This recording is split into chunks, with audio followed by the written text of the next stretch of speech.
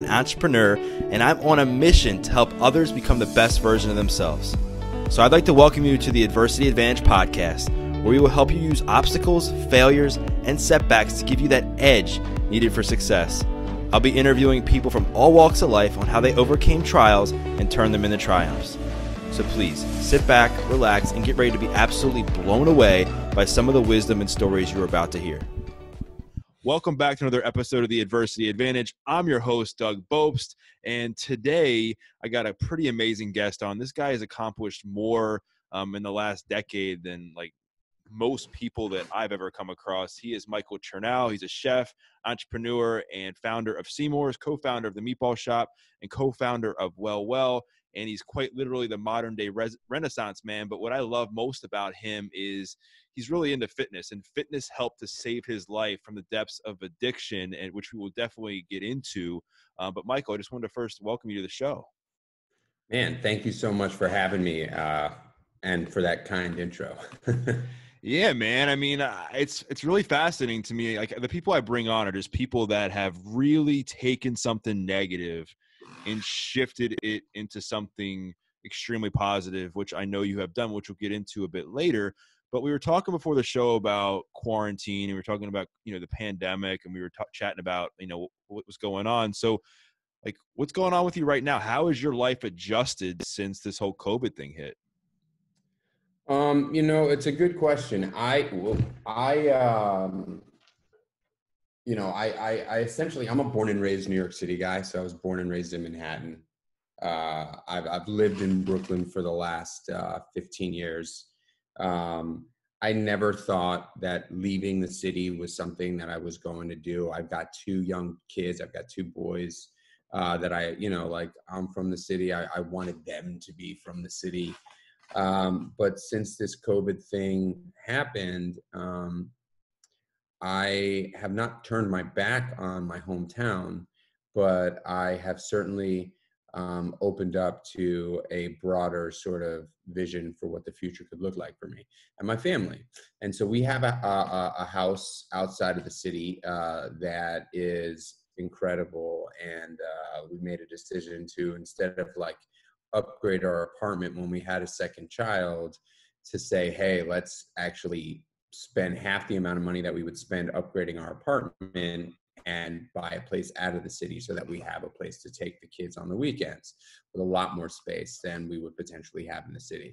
Um, and so we did that, and and it was the best decision we've ever made because uh, we've been out of the city for the last uh, nine and a half weeks, or actually today is ten weeks, so two and a half months. Um, and our boys are in heaven, and we are getting real comfortable up here. Um, you know, look, this virus is ravished uh, every there's not a human being on the planet that's not impacted by this whole mm. thing. It's it's a terrible uh, catastrophic thing. My grandfather is unfortunately in critical condition. He contracted the virus on friday of last week uh, in his nursing home and um, he's 98 so you know he's lived a very fruitful life. It's a sh- shame that you know this is potentially what what could what could end it for him um, and my family's sort of really bummed out about that of course. Uh, so i i you know the virus is has been it's just it's it's it's it's catastrophic. However i am a positive optimistic like to like probably you know to a fault um, and so i find the silver lining in everything and i also try to make lemonade whenever i see lemons and um and you know i'm i'm in this time i'm i'm actually i'm out here just trying to make some lemonade. And uh you know I, the, my grandfather's situation how i look at that is my grandfather's 98 he was uh, born in 1919 wow. he lives through the, the you know the rolling the roaring 20s the great depression fought in world war ii created awesome businesses failed at some businesses you know, sp- spend time in Florida. You know, like my grandfather lived this amazing, fruitful life. He's 98 years old. His number one priority was great relationships with people. He had an amazing, just network of friends. And I, I, I say, you know, he lived an amazing, incredible life, one that I aspire to. So that's how, that's why I'm finding the silver lining in that. And in in in the in the world in general, you know, we needed a fucking reset, man. Mm. We needed a you know, we needed to pump the brakes like and you know, you said I you know, when you the way you introduced me is I've done a lot in the last 10 years and and you're right I have in uh, uh, but I also think that so I, I appreciate you saying that but it, it's it's not it, it, hasn't been the healthiest you know what i'm saying? Like i have been I, and i don't think i'll ever not be like a pedal to the metal guy because i am just extreme in anything i do i'm, I'm an addict you know what i mean like i'm a i'm an extreme person but you know when it comes to business and work like i've been nose to the grindstone non-stop mm. for the mm. last 11 years and this this time has forced me to slow down to not beat myself up for not, you know, producing an enormous amount of shit every day. Uh, to slow down, to to hold my son uh, for more than two minutes when I see him in the morning. You know, like I needed this. I, I needed it, and uh, and and I think a lot of people needed to to take a step back and, and understand what life is actually all about. And I think it's ultimately about love. The human beings were put on the planet to love and be loved at the end of the day, right? Like I drank and did drugs because I wanted to be loved uh, and learn how to love myself. And and I think everything that we do at the core of of of the motivation or lack of motivation is is uh, the the the desire to love and be loved. Yeah, it's so true, and you bring up so many like interesting points that I think a lot of people need to hear. Like we all kind of need a reset. I mean, even like during this pandemic in isolation or wherever our case is, like we're having to look at ourselves and is like, okay, like what are some areas in my life that I've been like neglecting? Maybe it's your health, maybe it's your relationships, maybe it's, you know, just the way you carry yourself on a day-to-day basis. Maybe it's like your outlook, whatever it is. And I think it's during times like this when we get the reset where we're able to kind of propel forward you know and i know something that's that's probably very similar for you like you kind of touched on a little bit was your addiction in your early 20s i know there was a moment very similar to now where you had this reset where you kind of had to like take a pause and reevaluate some things in your life. You know you were working at frank you were bartender i think believe the owner kind of came to you and was like you can either get sober or get your life together or get out. I think if i remember correctly that's how it was. And then you ended up really rediscovering yourself at that point through you know Muay Thai and support groups and that sort of thing. Talk me about talk to me about where you were at in your in your life at that point. Like you mentioned, you know, trying to find you know to love yourself with doing drugs and drinking. Like what caused you to go down that rabbit hole and how'd you kind of get out of it? Um, well, again, you know, I was I was born and raised in New York City, right? And uh, you know, but but forgetting that, I mean, I I I, I've had this sort of uh, more mentality since mm. I as early as I can remember. You know, like I've always just wanted more of whatever it was. Specifically, if it was something that took me out of the present moment, and uh, and and and I'm and I'm even guilty of that to a, you know to today at times. You know, I'm I'm no angel, but um, I I think uh, I you know I I fell in love with escapism uh, and at an early age I fell in love with it. I I was I was you know sort of started working in restaurants at 13, so there was no it was not like uncommon to escape uh, when you're working in the night and so I worked in the night, um, and uh, and I sort of just acclimated. Uh, you know, I took to it like white on rice. I just I was it, it was like I was perfect for it, and uh, it just got it got you know there's there was a bunch of years where it was just super fun. There's you know I'm like of course some yeah. of the best times of my life, you know, uh, and then and then it stopped stopped being fun, um, and uh, you know I, I, started drinking and partying when I was like 13. And then uh, my dad passed away when I was 20. And even though my relationship with my father was absolutely terrible, uh, you know, my whole life, um, I used that as a grand excuse to just take it even further. And from 20 to 23, I was on a death march. And every, you know, but I still, I always had a job. I always can, I always kept a job in a, in a restaurant or a nightclub, whatever it was. Um, you know, and I was always sort of like, um, I enjoyed people. So I was, I was, I, I, I had a lot of friends, uh, you know, like friends. Um, but, uh, yeah, the last few years uh, were were pretty dark, and it was, and mm. I and I I, I stopped enjoying it, um, and it became just like part of my routine. Uh, and I clearly remember just moments where I was just like, I want to die. This is like, I can't believe that I I found myself back here again after promising not to do it again, and you know, I remember the last day I, I, I was, it was a, it was a Monday morning. I'd probably been up for two days plus. Uh, I had, I had a double at work. I was supposed to be at work at 10 a.m. It was in August um, of, uh, of 2004. And uh, I was up on the roof with a couple of buddies. They were like, all right, dude, we're done. And I was like, you're done. And they were like, we're done. I went down. I remember clearly catching a glimpse of myself in the mirror looking in the mirror and saying, "Man, I hate you more than anything on the planet." Mm. And I was like, "Whoa!" Like I, I couldn't believe that that was the first thought that came to my mind. I hate you, and so I wanted to die. And luckily, I didn't kill myself. I woke up 16 hours later. People, I'd locked myself in my room. People thought I had actually died. And uh, my boss, like you said, you know, I slept right through work uh, and that that happened pretty regularly, specifically when I had a double. And Frank just said, "Yo, man, Mike, yeah, I love you to death, man. I, I do. I love you to death, but I can't watch you kill yourself. You're fired."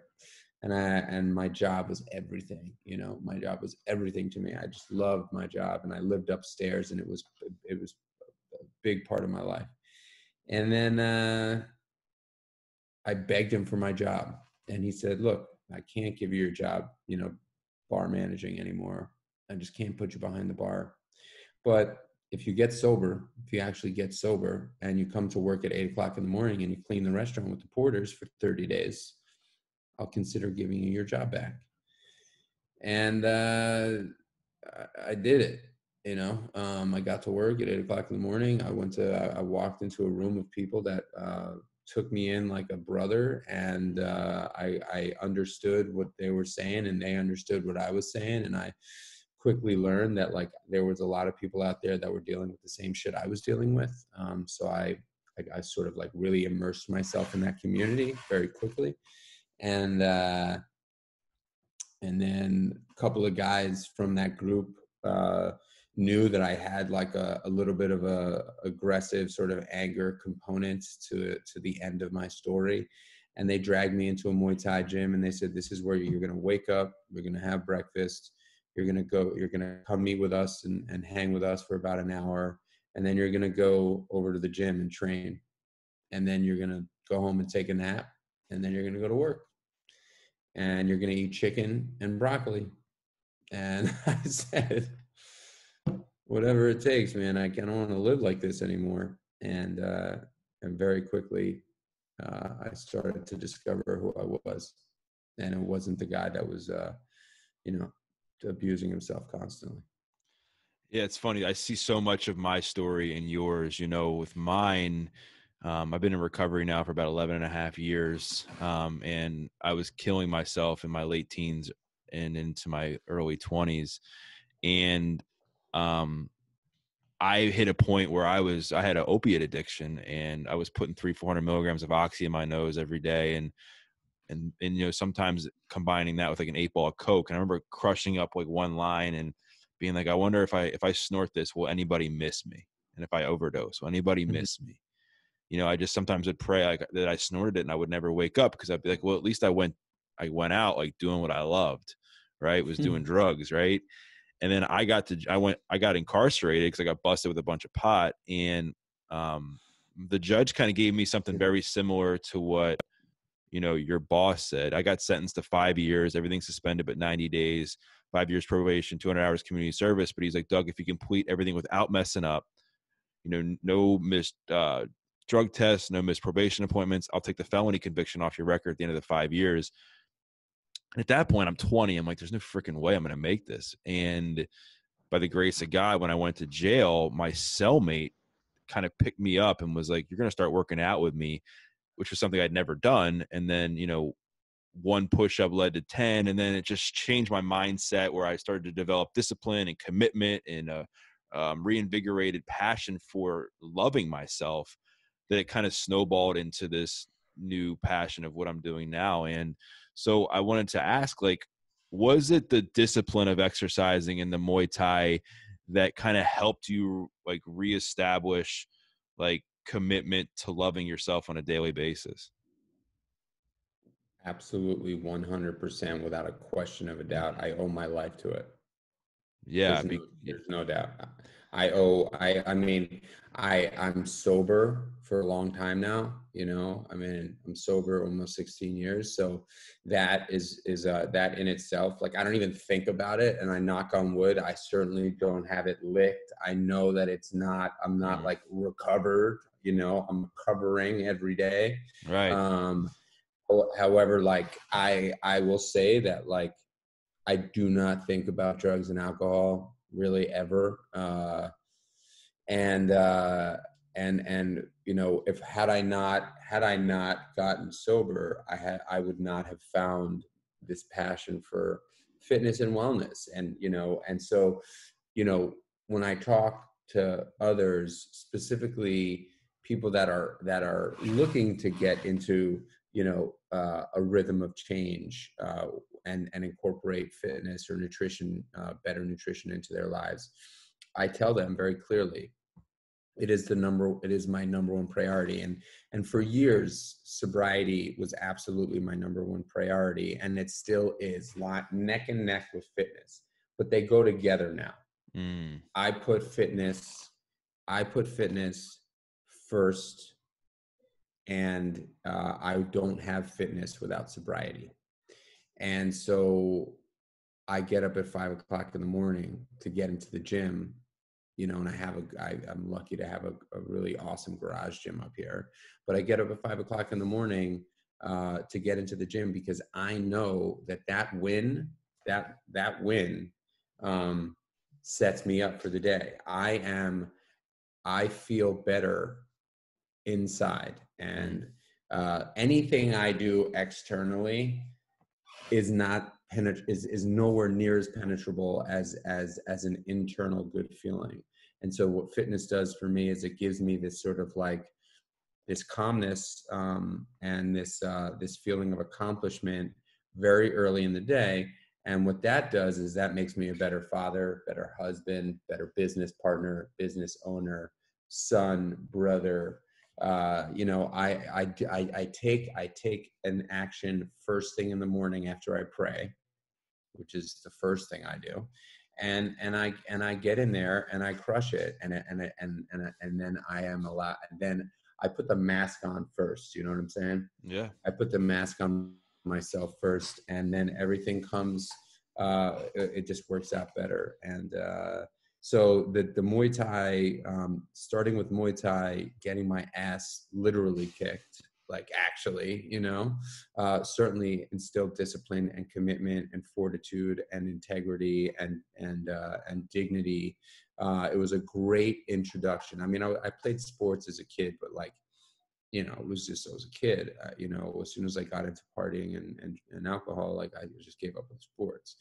But you know, uh, sort of solo you know solo sports like fighting um really uh you know are are are incredible for the mind. Like in like i, I just and that's why i you know as i've gotten older i i mean i i, I don't compete in muay thai anymore but uh i've just i've have fallen in love with with weight training because mm. I love to like just get in there, challenge myself every single day, try to get up more weight, take on more reps, and I and I and I have no one else to blame but me if I don't do it, you know. And so I just yeah that that that has set me up that that that regimen has set me up for life yeah and what's really crazy is i i feel the same thing like having to because we all have this pain, right? We all have pain of shame of hurting others or hurting ourselves or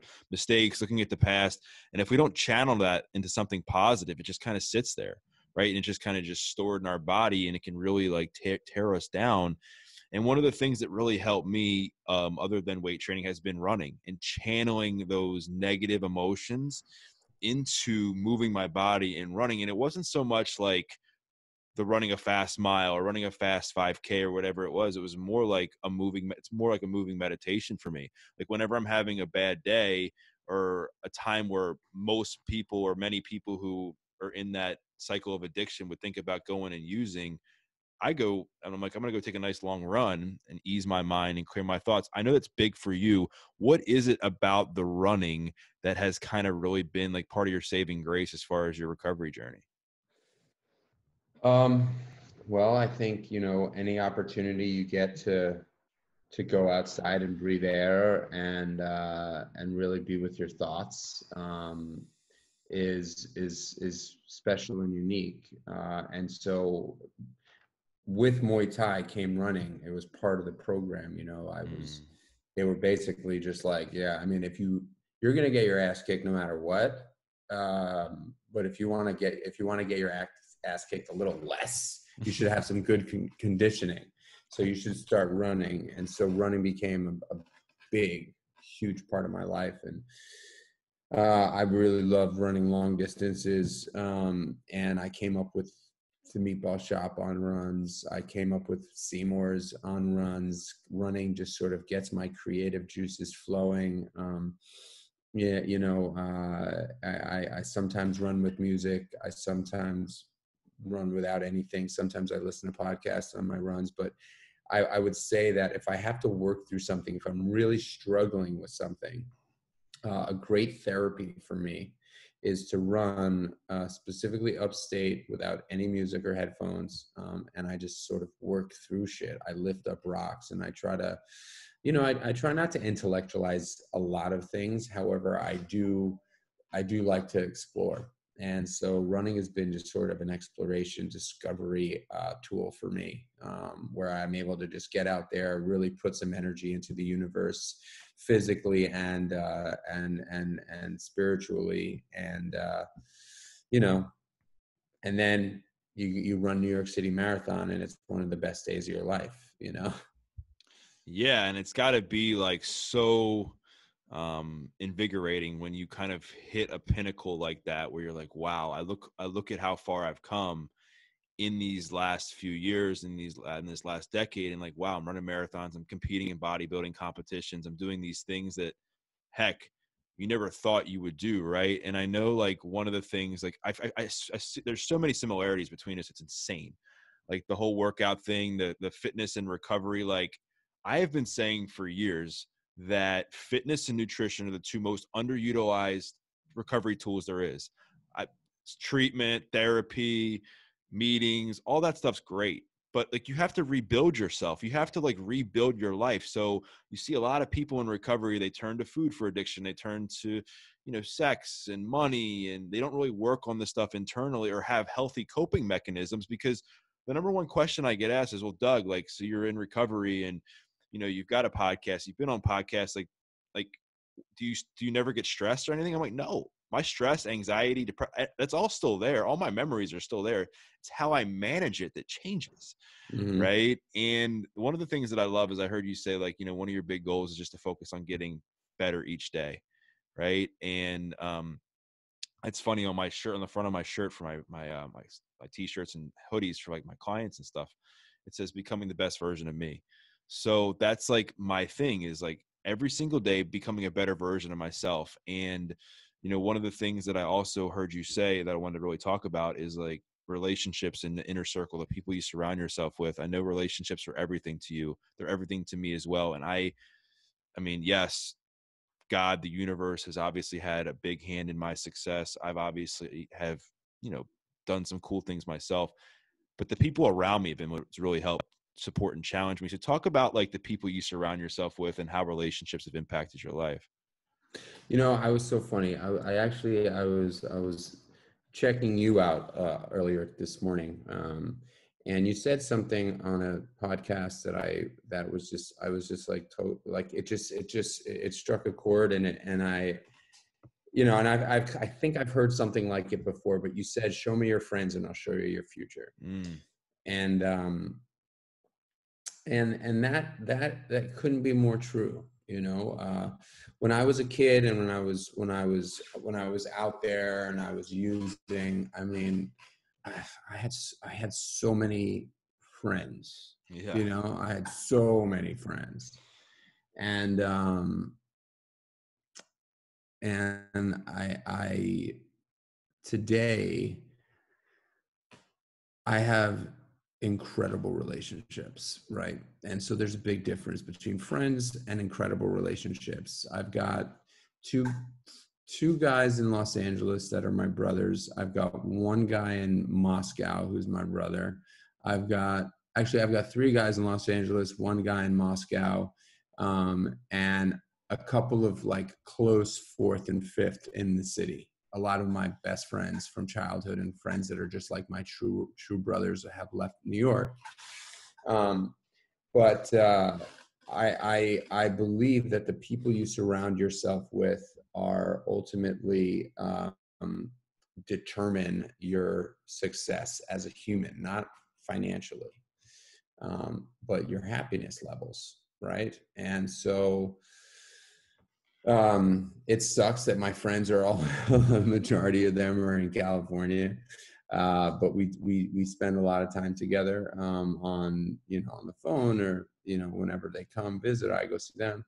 Um, but you know my unit is my family right now like at this phase in my life my unit is my family uh, my wife is my best friend above all above all she's my best friend um, and uh, my kids are my projects and you know uh, my um, and so i focus all my energy on them um, and uh, and and i i believe that uh, you know, I, I, say it over and over again the business of business is relationships and the foundation of relationships is trust because i believe that but i but i say that in business but it's also just in general you know the the the business of happiness is relationships and the foundation of relationships is trust it's uh you know um i i i believe relationships are what we um what ultimately gets us uh, that satisfaction at the end mm-hmm. of the day. And uh, you know, you can go buy a car, you can go buy a house, you can go buy a watch, you can go buy a pair of sneakers. That shit is fleeting. It's fun, but it's fleeting.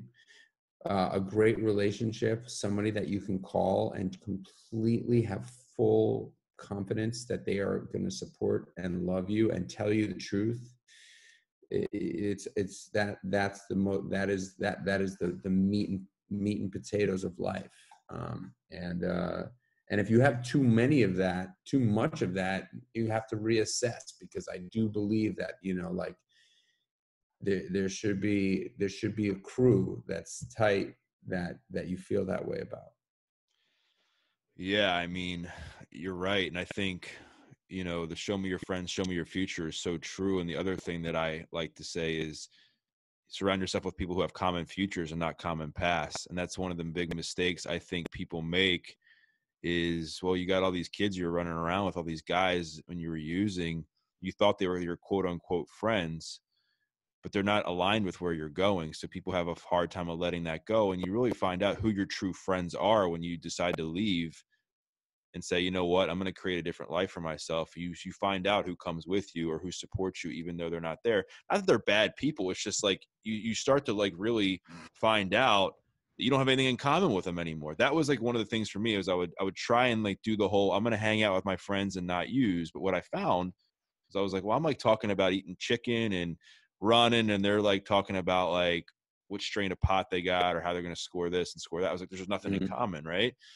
And you know, there's it's like you want to always for me what's been really helpful like you said to have that core group of people that love support and challenge you unconditionally on top of that i think is not being the smartest person in the room and that's how you get the business success right. is that you surround yourself with people that are a lot smarter than you. So talk about like some mentors that you've had in your life that have had like a major impact on your success as an entrepreneur and personally too.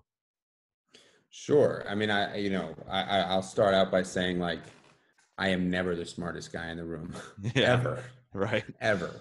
And uh, and specifically at at any of the businesses that i've that i've helped create or created um, you know uh, and that used to that used to make me feel when i first started as as a young entrepreneur you know whatever 11 years ago i used to be insecure about like not being mm-hmm. intellectually you know savvy uh, like others that i was sitting at the table with and now i've grown to love that because right. I'm, I'm just you know like i'm not a great i'm not a, a great numbers guy and but you know i i can uh, i can i can win over anyone you know and that's another that's a it's, a, it's another kind of smart and i've had to learn that over time. Um, but uh, mentors yeah you know i've got a bunch of great mentors um, some really crazy ones and some really really uh, you know like just the quintessential mentor. There's a guy named richard Coraine who um, is Danny Meyer's uh, business partner. He's, he's Danny Meyer's right hand man and Union Square Hospitality. He's probably just about the best the best guy I've ever encountered. Um, in in general, he's one of the sweetest guys on the planet, most intelligent, uh, and and also um, emotionally intelligent. Um, and so he's just like this this unbelievable you know sort of resource and friend of mine. Uh, and and and early on in my career he you know he's he reached out and said i love what you're doing. And i said thank you so much. I, and he's you know he's taken every one of my calls and he's always been down to just sit on a you know i use him as a soundboard and just have him just i like to shoot the shit with him. He's just like i, I always walk away with some incredible information um, from being with him. Uh, and uh, and then there then there are some other you know there there's obviously some other business mentors that I have um, that I always run things by. This guy Strauss Zelnick, who's just another sort of like mountain of a, of a businessman, and he's he's given me just his undivided attention over the years and helped um, help me sort of see through the the, the forest a little bit. Uh, um, um, and then and then there's there's one one of the first guys that dragged me into the Muay Thai gym. Uh, this guy Marcus, um, who uh, is a founder of a, a, brand called the Juice Press in New York, and now they're kind of all over the place. But uh, uh he wasn't the founder of the Juice Press then. He was just this crazy Muay Thai, uh, you know, sort of like anti AA slap but sober guy. Uh, I didn't go to I didn't go to A, I didn't go to AA or NA, so yeah, I can relate to that a little bit. Oh, cool. Um, you're one of the few. I know. Uh, yeah, I I, uh, I, definitely spent a good amount of years there, um, and uh, and I've certainly you know. I don't think there's anything wrong with it. I think it's actually really, really. yeah, I uh, supported. I supported 100. percent It's just not. It just wasn't my path, you know. Yeah, yeah. So this guy Marcus, who uh, who I sort of looked up to as an older brother, uh, still do. Um, he's a crazy son of a bitch, but you know, whenever I'm like going through shit, like, and I want to get like smacked in the mouth and like really told, like, you know, hey, dude, like, look at your fucking part in this thing. Mm. Uh, I call him, and he's just like, you're you're such a punk. Like, you just stop being a baby about it. Just you know, like give you you know just just suck it up or you know he's I, I need people like that in my life. I need like really strong editors um, that i know love me and that i love you know um, that are just gonna just gonna not co-sign my bullshit shoot me straight and um and so yeah you know i think that uh you, you know they, there's a saying uh that that you know i think is so uh it's, it's just I have so much identification in my life where it says your ego is not your amigo, you know. Mm. And so if you're not able to put down that pride and ego and ask for help, I think that's the best piece of advice I got early on was like ask for as much help as possible. put your check your ego at the door ask for help no matter what you're doing because if you don't ask for help you're going to fail and that's okay but the more you fail uh, the harder it is to potentially leave your ego at the door. So i think the, probably one of the most important pieces of the puzzle for me when i was when i was not coming up as a business person but just like trying to get my life together was like i just literally i asked for as much help as possible. And uh and and, and i certainly you know like made mistakes but um that component of asking for help totally taking to the mentor mentee thing um and and surrounding myself with people that were much better than me uh has has been a huge huge catalyst to my success yeah, I, I, mean, I couldn't agree more. And I think sometimes the the people who have the biggest impacts in our lives are the ones we least expected. You know, I'm sure you've met some amazing celebrity chefs, you know, throughout your career that have helped you, or maybe you've been able to pick their brain and they've given you some guidance. And people in the business world, and and you just talked about some people that you know you just never expect. Sometimes, you know, a guy leading you to a Muay Thai gym who now ends up find founding like one of the you know a super you know big health company and now obviously you're super passionate about health and fitness for me it was my cellmate you know looking me in the face when i was in jail and telling me to quit being a victim and to quit blaming everybody else for my problems and take responsibility and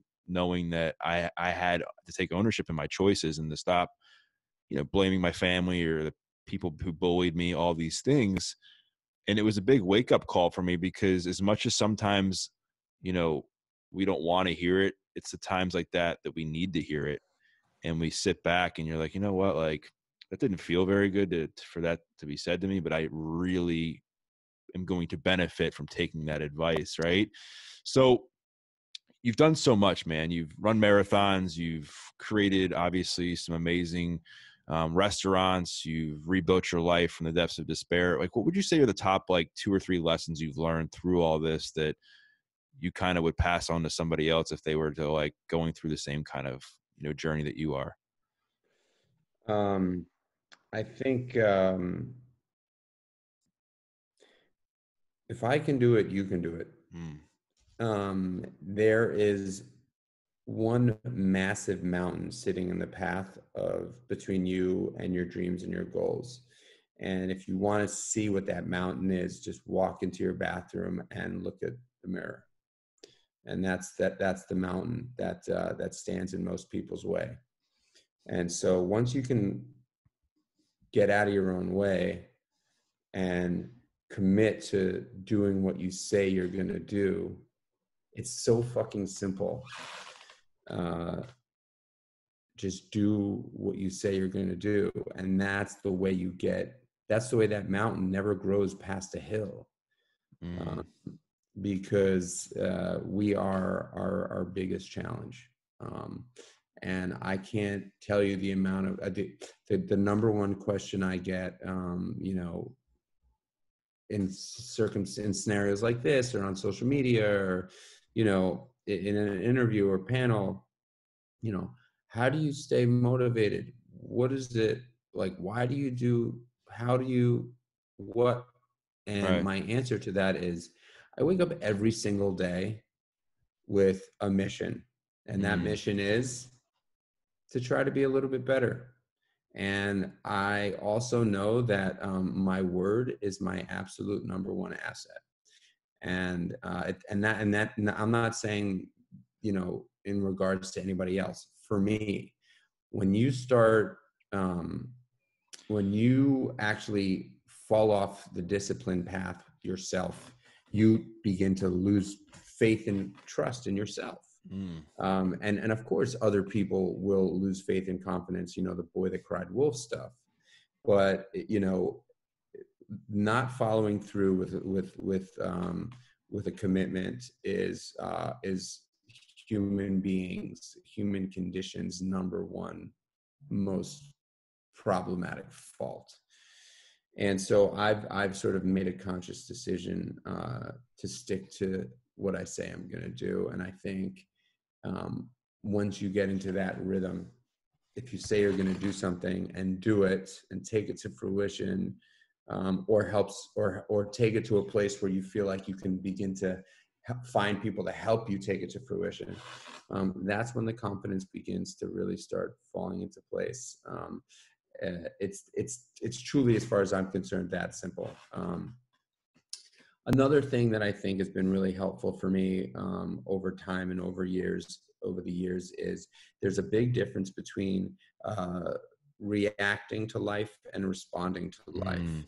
Um, a reaction is, you know, somebody throws a ball at your head and you react. Like that's just, you know, like, like I mean, luckily we, we have that ability, right? Um, but uh, when somebody says something to you that you don't like, um, and you act on the first thought that comes into your mind, like a reaction, like the ball comes and you just like move out of the way. Somebody says something to you that you don't like, and you immediately fire back a, a nasty re- reaction. Well, nine out of 10 times, that reaction is going to take you to a place where you just don't want to go, um, and unnecessarily so. And so for me, I've learned over time that you know somebody does something that i don't like or i don't appreciate or the world is happening around me and i want to control it and so i can act out on in some way as a reaction to what's happening around me what i what i've done and i and i literally have a practice where something happens i don't like it that's my first thought i envision opening up the window a gust of like cool air, you know, flowing in, me taking a deep breath and then letting that reaction go and then deciding when I want to respond. And I do that with emails. I do that in person conversations. I do that at board meetings. I do that with my wife. I do that with my children. I do that constantly. Uh, the react, react respond has been an unbelievable game changer in my life, giving myself time it doesn't take much, you know, 15 seconds to like cool your jets and not react because I, I just, you know, people react to life and they get put in jail. You know what I'm saying? And uh, yeah, and yeah, and so yeah, and you know what I'm saying. So uh, I think that that's a huge component. And then I guess I would leave you with one last thing in terms of that um, sort of advice, you know, question um, there's a big difference between listening and waiting to speak. Uh, and um, I've learned to listen. I wasn't always a listener. Um, but as a business owner and you know employing 700 people over my career between the two businesses i've become more of a therapist and and a listener than i have uh, a restaurateur. And uh, and I would not I would never be trusted uh, by my crew of people if I was just waiting to speak to them as opposed to listening to them. Uh, you cannot learn without listening. It's mm. impossible. You can't learn without listening. Um, you might be able to learn a little bit by seeing something, but actual long term um, growth and and uh, and and knowledge comes through listening. And so uh, I would just empower specifically younger, uh, aspiring business people, entrepreneurs, creatives that really want to take their career to the next level. Um, the less you say, the better off you are uh, when it comes to timing. You don't always have to be heard. The more you listen, the stronger you'll be mm. um, in life. In life, you know, most of the time when I open my mouth, I get into trouble. yeah. It's just, you know, most of the time I open my mouth, I get into trouble. And if I don't have to add anything to the conversation and it's not something that's life or death pressing and I can wait to talk to that person or individual at a, at a later time, maybe after I've given it some, some thought, it just, there's, there, you can't go wrong. You just can't go wrong. And I'm not saying be a fucking doormat, but timing is really important and listening is game changing. Yeah, those three things you just said, the the listening versus waiting to speak, react versus respond, and even like looking at yourself looking at yourself in the mirror are just like three things. I mean, any no matter where you're at in life, whether you're trying to be an entrepreneur, whether you're trying to beat addiction, whether you're trying to get healthy, whether you're try, what whatever, if you're just getting out of high school, like just applying those yeah. three things is going to guarantee you massive success because there's a lot of you know things that can go wrong when you're reacting and you take this golf ball size of a problem and it becomes a bowling ball because of the way you react and respond. So, you know, you've run marathons, you've um, you're you know you're a restaurateur you've opened up some amazing restaurants you've competed with bobby flay like you've had your own show like what are you most proud of like out of everything you've accomplished what would you say is like your proudest thing you can look back and be like you know what like i need to give myself a pat on the back for this one the relationship I have with my wife. Mm. Why? Uh, I mean, I even get emotional thinking about it. I, you know, my wife is, uh, we've been together. I met her six months after I got sober. So we've been together 15 and a half years. Uh, and uh, we have an incredibly healthy relationship. Um, she's taught me so much about patience. She's my she's my my my biggest fan. Um, even though sometimes she, you know, is a pain in my ass and doesn't want me to take all the risks I take. Um, but uh, she's given me an opportunity. You know, I can I come from a very very dysfunctional household, uh, very very dysfunctional. Um, and so I did not grow up with a good sort of uh, you know example of what a marriage looks like. I actually grew up with the exact opposite um, and so she's given me this faith and hope and and um, that that that things can be awesome in in in, in a love relationship in a in an intimate passionate relationship uh, and uh, and i love i love her I love her more than anything. I mean, of course, we have two unbelievable children, so those are massive accomplishments. Uh, you know, because I love my boys, but without my wife, they don't exist. And so, right. I gotta say that like my my my biggest accomplishment is is the healthy relationship I have with my wife. You know, if we're we are very communicative. We um she's taught me how to communicate and she's taught me also that like it's okay to feel uncomfortable to say to say how you feel. Um, and it you know i'd rather sit with two to two to four hours of uncomfortable feelings than you know bottle it up and and explode after a month and hate someone. She's taught me that um, even though we you know we're we're a couple man. We fucking fight uh, you know but uh, but you know she's we we we've learned about this sort of we've worked with each other uh, to really uh, see what a you know to to explore what a healthy relationship looks like. And if and if there's if there's something that we just can't simply can't get through we we have a great therapist that we call up and you know uh, she'll take a she'll take a phone interview a phone session with us and super not ashamed of that. Like feel like it's a great healthy thing to incorporate into a marriage. You have a you have a third party that can help you navigate and uh, you know and, and we don't have to use her often but when we do it's awesome.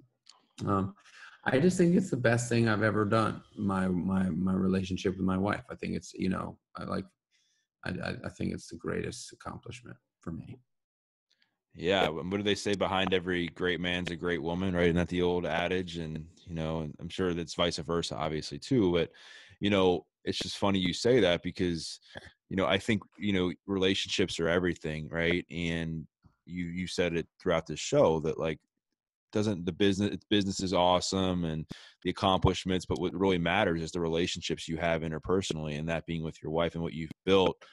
And the fact that you are open and be like we don't have like the the perfect relationship we fight and but we work shit out and we get uncomfortable um, with our conversations. And as men, I think we're afraid to to open up and share our emotions. We're taught to kind of hold everything back. And really, like what that has caused is it's caused a ton of relationship problems because people explode and people don't communicate. And so I just love your honesty and vulnerability about that. So Um, the one thing I want to ask you now is like we talked before the show, and you said you sold, um, you got out of like a bunch of equity, I think, right, from your mm-hmm. some of your mm-hmm. companies that have been able to position you in a place right now where you have some freedom. What are you working on now? Is it something in the food business? Is it something? I mean, you have your podcast. Like, what's next for you? Um, well, I mean, it's interesting. Obviously, with this COVID, you know, I, I have a pivot mentality, and I think right. that most entrepreneurs um, and successful people in business have to have this pivot mentality, which means, you know, when you think about a pivot in basketball, um, you have a strong leg that you stand on, and the other leg is just moving around, and it's comfortable moving around. It's comfortable going, for, you know, left, right, front, back, you know. But there's always that strong leg that you stand on, your foundation. And so for me, the pivot mentality is essentially like, I know what I'm good at. Um, and I can apply that in many different ways. And I'm able to pivot quickly because I, I feel confident in, in what I know I, I'm good at. And that is connecting with human beings. And so uh, you know, I was building a business in the city, which was which is called Creatures of Habit. It was ultimately going to be a restaurant concept that was going to use the restaurants um, as an incubator for a line of consumer packaged mm. goods in the wellness space. And so now that opening up a restaurant in New York City is not something that I think anybody's necessarily running to do at this time. Uh, I'm going to flip flop it and create a couple of great products that I will launch uh, under the Creatures of Habit brand um, that are in the wellness um, in the wellness space that are direct to consumer and um, and awesome and convenient. Uh, so I'm going to start with that. That's a project I'm working on. I'm obviously working on my my podcast, um, and now that I'm upstate, deeply considering opening up a restaurant up here.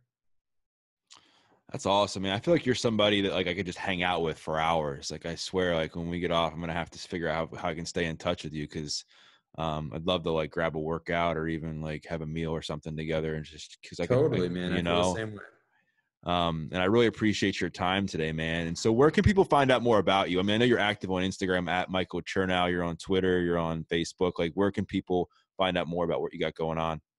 You can just pop on my, my website, michaelchernow.com. You can check out my my podcast, Born or Made with Michael Chernow, um, to, to, to, you know, stay up to date with all the, the daily stuff I'm doing. Uh, uh, Instagram is really my jam. So Instagram uh, at Michael Chernow is where I, I'm most active.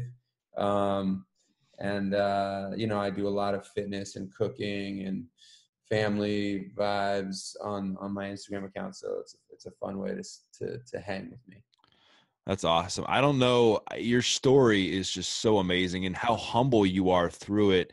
And it reminds me of, I'm sure you know who Andrew Zimmern is. Um, Good buddy of mine. I interviewed Andrew for uh, my book, The Heart of Recovery, and his story is very, very similar, right? He, um, he got into recovery and then created this amazing business right and and now he's giving back helping others super passionate about just the you know recovery community and and i could see your exact same like your kind of life was falling apart in new york too right and yeah. kind of rebuilt it and now became this incredible guy so dude once again thank you so much for hopping on here man Man, thank you so much for having me. I really enjoyed it, and um, I really appreciate you thinking of me for it.